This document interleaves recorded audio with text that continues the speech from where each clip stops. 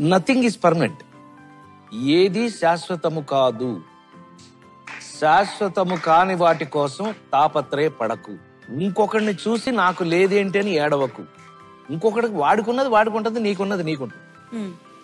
ఐదు వేళ్ళు ఒక సైజులో ఉంటే మనం వాడడానికి పనికిరావు. పాపులారిటీ ఎంత ఉంటే డబ్బులు ఎంత ఇస్తే జీవితం ఎంత ఇస్తే ఫ్యామిలీ లైఫ్ ఇంత ఇచ్చే లైఫ్. సో ఇ- ఇదే జీవితం.